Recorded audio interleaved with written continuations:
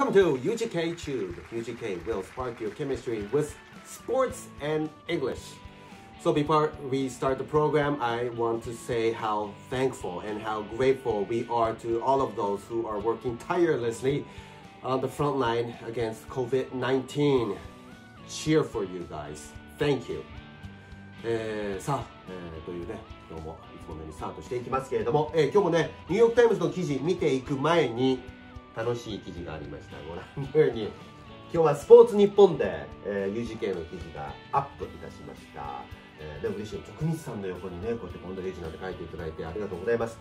で YouTube で伝えるスポーツと English で化学反応ここまで書いてくれましたね、えー、ということで「It's gone 仕事が It's gone!」ってなってますけれども、えー、僕こうやってね YouTube で伝えさせてもらっています。さあそれではスタートしていきましょう、えー、まずはいつものようにこれね、えー、スポーツなんなんですが今日は現地時間土曜日なんですけどあまりやっぱちょっと記事がね向こうもスポーツやってないということであまり上がっていませんでしたがまあその中でもちょっと記事になったのがこちらですかね、えー、この方はサッカー界の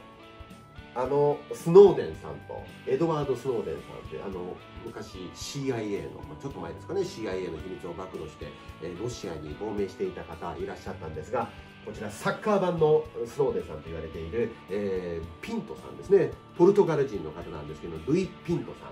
えー、この方は、えー、サッカー界のサッカー・シークレッツ・ハッカーサッカーの秘密をハッキングするこの人が leaves prison 収容所から出ました。Enters lockdown でロックダウンに入っています。ということでこれ何かというともうあの今ヨーロッパも渡航禁止になったり外出禁止になってますから、えー、こういう、えー、収容されていた人もちょっと出されるんですねちょっとこう、えー、逃亡の危険性はないということで出されたということなんですが、えー、この方が結構ねいろんな情報を持ってるみたいで戦々恐々としている方がたくさんいるということでこの記事も書かれていました。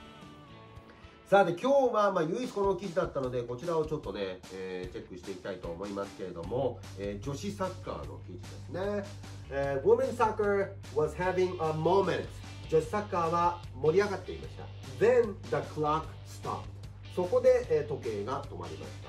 ということになりますでこれどういうことかというと As the coronavirus pandemic forces soccer clubs and sponsors to tighten their belts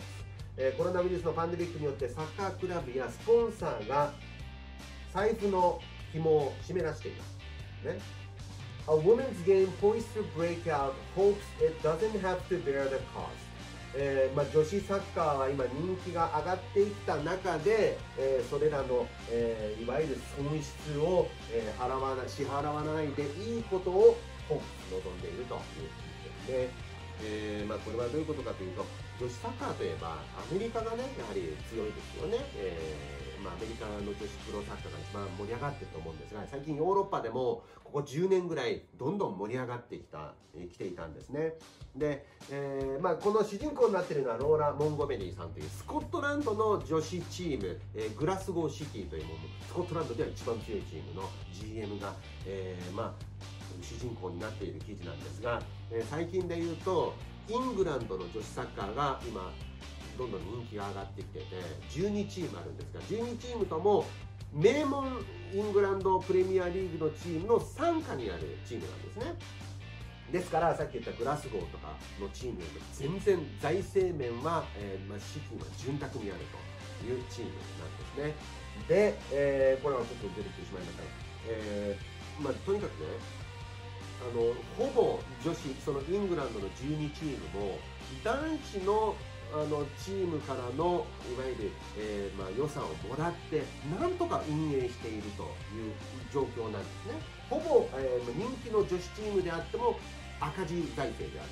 というところがほとんどなんです、まあ、女子サッカーは、まあ、ですからそういう、えー、まあ、境遇になってはいるんですが人気はどんどん上がってきていた。でそこに来てまあ、その女子プロサッカーの自立を図るためにも、えー、女子スーパーリーグ構想というのがねあったんですね。これ、えーまあ、そういう女子の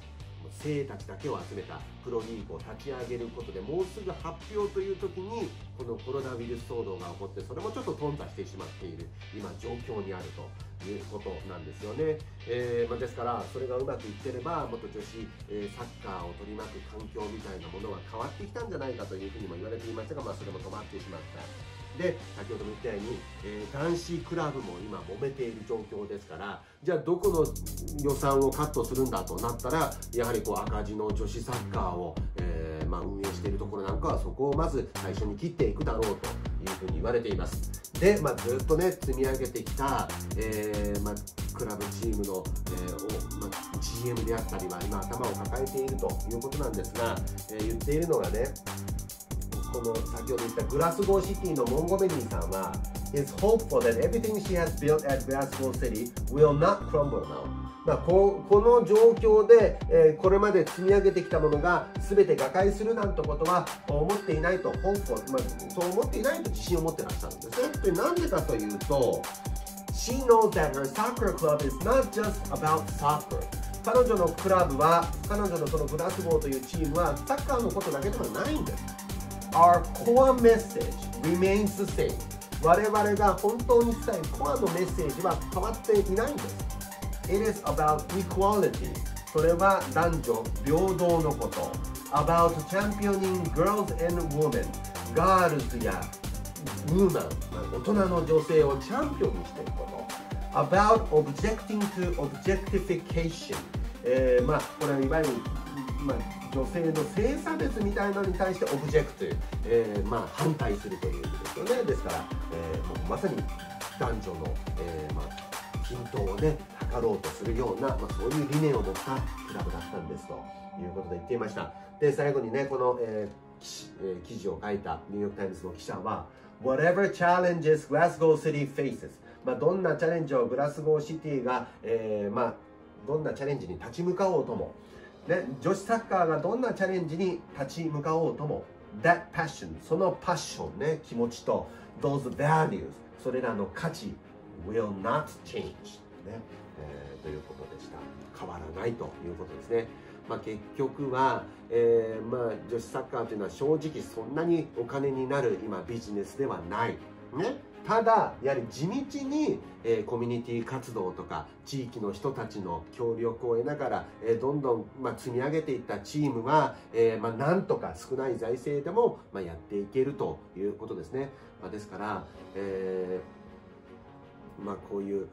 お金がなくなった時にねやはりその本当の信念を持っているチームが最後に残ると。えいうようなニュアンスで書かれていましたけれども今このパンデミックのね、えー、時代にあってもう目に見えない、え敵との戦いの中まさにその目に見えない価値観みたいなものその信念であったり、えー、コミュニティに対する思いやりであったりものを持っているチームが、え生き残っていくんだろうなというふうの感じさせられた記事でした素晴らしい記事でした